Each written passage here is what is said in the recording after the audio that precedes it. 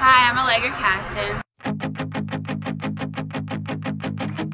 I'm a goalie at the SoCal Blues. I attend Eleanor Roosevelt High School in Corona, California. I'll be graduating in the year of 2012. Thank you for watching my video.